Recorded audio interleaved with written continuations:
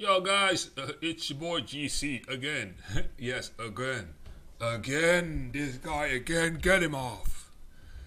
Get this guy out of this channel, man. It's crazy, man. Oh, guys, I forgot to tell you. I don't know if I already told you that I'm so happy that I got 100 subscribers. Man, it made my day. I was like, this is.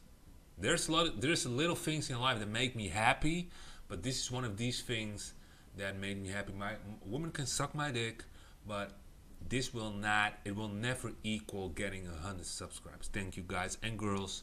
You're the best. So keep watching subscribe share tell them sfm is fucking real. It's gonna get your ass. All the tricksters all the women who are trying to destroy guys their lives in relationships trying to manipulate them not not working for their own ass. They're gonna get destroyed by this channel. We're gonna destroy them. We're gonna hunt them down so, um, okay, guys. So, who am I? I'm the guy who is hunting these bitches who are destroying guy their lives, um, not wanting to work for themselves and just want to get you stuck in a relationship, working for sex day in day out. And I'm here to stop them. I'm the Batman who, uh, yeah, who is committed for the rest of his life. So, uh, how am I doing this? Well, I'm doing that by uh, this channel with the 100 subscribers, working on this app, Padboy, inspiring the youth with uh, with this great app, teaching them to, to, to catch how to catch the attractive woman in some kind of a card game. You should check it out, and also tracking down the attractive woman because you should definitely hunt down the most attractive woman, catch them, lock them up, put a ring on it, and you know continue with your life. And I'm gonna help you with it. And uh, definitely, um, it's not going that easy. So that's the truth. Uh, and go to private men. If you're a youngster and you want to learn how to gain, uh, you know, experience with women and relationship setup when it comes to, with money involvements, um, you should definitely. This is this is something. It opened my eyes. If I hadn't do this, I wouldn't have what I would go. I wouldn't have any of it because I was good, but not that good. And I'm still not that good because I mean women are always better because we have we have to approach them. That's the biggest problem. We always have to approach them. There's so many but the good thing is we can approach them. Right? We can always approach them. For us it's a way for guys it's so much easier to approach women. Man, it's crazy. If you if you see woman, man, woman could woman have uh, don't have the benefit of the doubt when they approach a guy, you know, because women are like not in this offensive mode. They are not offensive. Guys can be offensive. It's attractive. For women, it's not that attractive. There are guys talking about it online, like, yeah, you should approach guys. You, but for guys, it's intimidating. Like, a woman approaching me, what the fuck? But for women, it's like, oh, the guy approached me. Wow, I should be. Apparently, I'm really attractive so it's always good if you approach women. It's always good, and um, you should you should take it when you're a youngster. And I'm still taking now. I'm taking it, but I'm working on this app. And I'm, uh, anyways, I will I will I'm still doing, but I will get out there, guys, definitely. But now let's keep to the channel and keep to the subject of this damn video. You want to hear what it's about? Five reasons why you should never, ever give up your own place even when you get together with a woman, marry and start a family. I don't give a shit.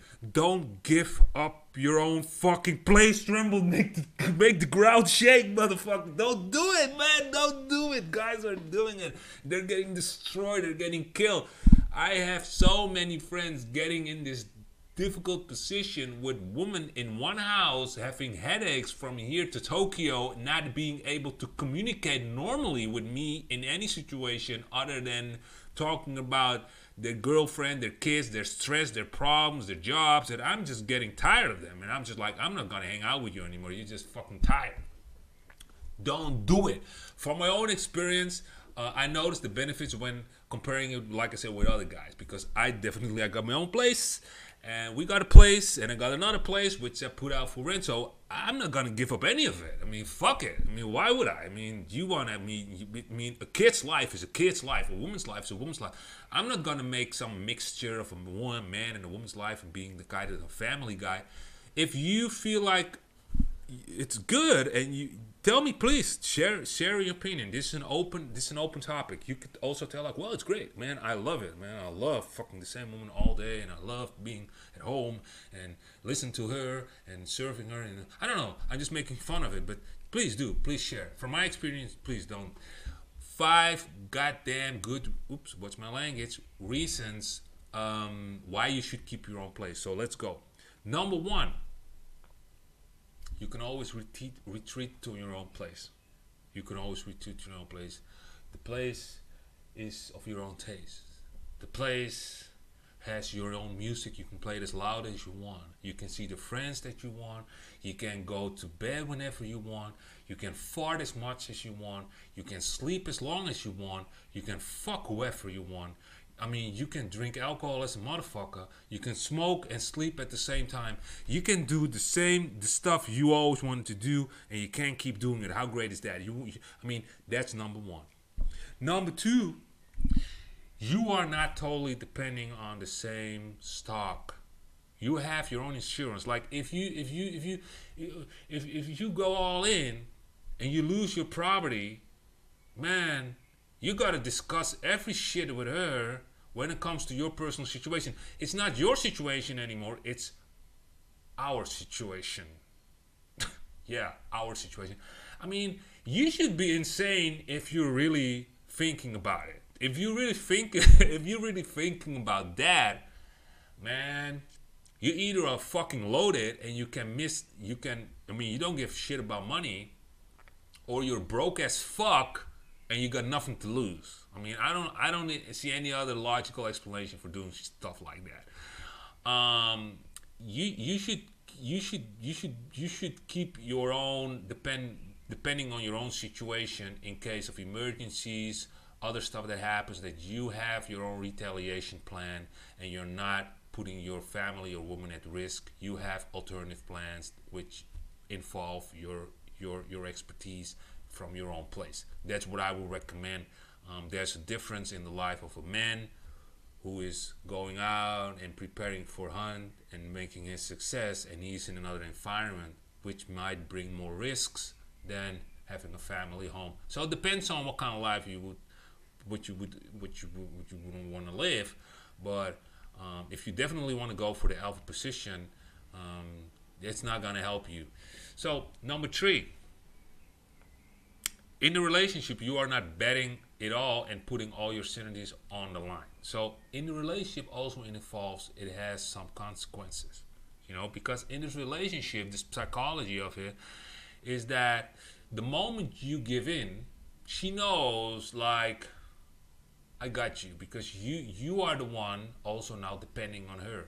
You need her, so she could use it against you in the relationship because she could even put more pressure on you right now getting you to do what she wants you to do. You know, yeah, I wanna I wanna play soccer with my friends. She's like, nah, you have to be in at ten because the kid needs to sleep. I'm just making up something. You know what I mean? So she could come up with all kinds of different excuses because you're fed up, but you're just in the same place. I mean, she could, she could use anything. If it wasn't enough, she could also what she was already was doing like today I get a headache, so you're not gonna get late. I mean, it could all get different stuff. You know, she could start manipulating you and just tracking your ass like, oh, you weren't you weren't at home last night, so where were you? You're like, why do I have to explain? Well, because we're living at the same place, and if you want to keep living with me, you gotta you gotta tell me where you, where you were. Well, I'm gonna say something like that, and you're like, okay, well, I can't leave you because otherwise I don't have a place to live and gonna, gonna, gonna give me a lot of headaches, and that's why you stick. So you're just stuck. You can't go. If you got your own place, Nobody sees what you what the fuck you're doing. That's what I just told you. So don't let that be used against you. Four. Do not fully rely that what you create together will make you more depending on this relationship. And so what I'm trying to say here is that when you when you really put it together in the same place, you're building a future. Right? So you're building this mixture of a house, mixture of a car, mixture of a garden. It's all like this mixturing blend. And I mean, if you're still in development of your own life as a man, you, you shouldn't you shouldn't give that up. I mean, you should you should keep developing and be MGTOW. Men go their own way. Build your own empire first. If you feel like at some point you could give in and make this blend like I'm doing now, I, I don't believe it's necessary to give up your own place. I mean, it's a different life. I mean, when you look at a, a family home, um, you can really make it a family home. You, you you don't have to put any expectations of the future, how you want to expand it for yourself. It's all will all be of extra effort. Like yeah, I want a gaming room. It's all going to be in discussion. You should just keep your own place, and there's the gaming room. And then, well, then she has to visit you when you're at your place, or you just have to find a way. I mean, that's, I mean, life is about finding solutions but not making stupid decisions right? So why would you? I mean in my in, from my opinion stupid decision.